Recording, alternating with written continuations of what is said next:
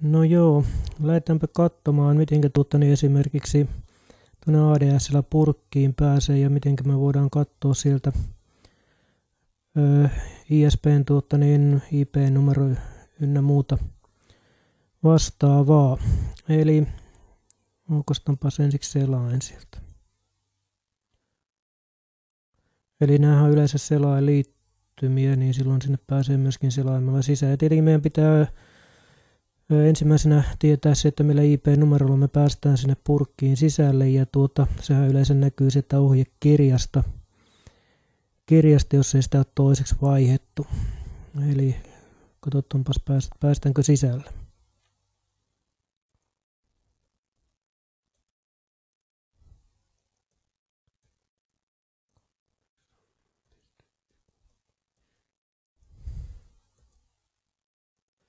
Mulla itselläni tuota, niin purkki on toisessa niin porttinumerossa, se, sen seurauksena lähinnä tuota, käytän siinä kaksoispistettä ja sen jälkeen porttinumero, eli tuon IP-numeron niin perässä.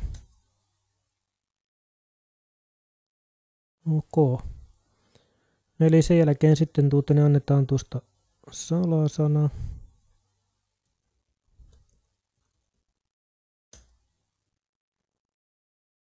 Oh.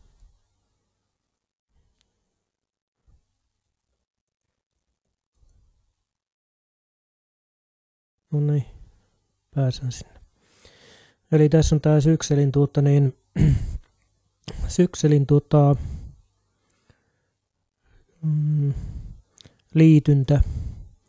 Eli otetaan tuota system status. Katsotaan mitä sieltä löytyy. No joo, täällähän me löy- löydettiinkin sitten tuota, niin tämä informaatio, eli mikä on lähinnä tämä koko systeemin tuotteiden nimi ja versiot ja muut vastaavat systeemit, mutta myöskin sitten ihan puhtaasti tämä van informaatio, eli sieltä löytyy tuotteiden IP-osoitteet, sub, netmaskit ja myöskin sitten default gatewayt. Ja sitten sieltä löytyy myöskin tuotteiden tämä LAN information, eli LANhan on tämä kotiverkkosysteemi täällä, eli tässäkin mulla on tuotteiden DH, DHCP tuottani serveri käytössä, jossa ensimmäinen tuottani DHCP-jakelunumero on tuottani 192.681.33 ja DHCP-poolin koko on 32 IP, mikä nyt kyllä pitäisi ihan puhtaasti riittää, riittää tuota, normaaliin kotikäyttöön. No sitten siellä on tuota niin DHCP mm, taulukko. Eli DHCP-taulukossa näkyy nyt sitten ne osoitteet, jotka tällä hetkellä on tuota niin, käytössä siellä, eli jotka ovat varanneet tuota niin, IP-numero sitä DHCP tuota niin, poolista ja myöskin sitten tuota, host nameit ja sitten tuota, niin, niiden, niiden myöskin tuota, niin, MAC-osoitteet. Eli nämä on semmoisia, mitkä nyt tällä hetkellä on tuota, niin, saaneet IP, IP-numeron sieltä.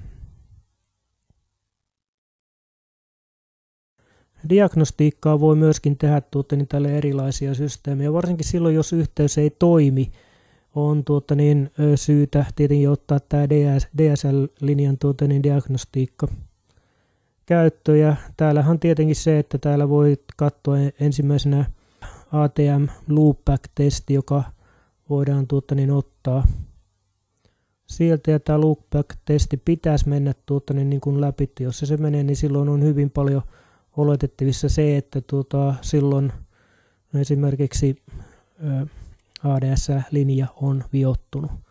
Eli yleensä kun tuota, niin se ADSL-linja ei jostain syystä toimi, niin kannattaa tämä ATM loopback-testi ottaa tuota, niin ensimmäisenä. Sitten jos tuota, niin tulee vähän mm, niin sanokseni tuota, mm, vika-ilmoituksia kun on tehnyt, niin jos tulee vähän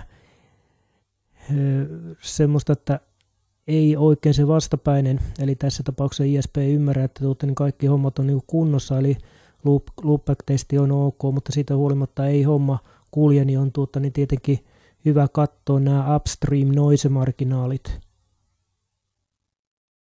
mitkä on, ja pistää sieltä tuota, niin nämä noise-marginaali upstream ja sitten tuota, niin nämä power downstream tuota, niin jutut ylälle, nämä desibeliarvot Ja ihan samalla tavalla sitten tuota niin, samalla tavalla sitten tuota niin pitäisi mitata myöskin tuota niin tämä downstream marginaalit tuota niin täällä. Ja sen jälkeen sitten tuota niin ilmoittaa, että tämmöisiä tuota niin desibeliarvoja on tuota niin saatu saatu sitten aikaiseksi, jolloin he alkaa tuutta, niin varmasti viimeistään katsoa, että missä on tuutta, niin vikaa.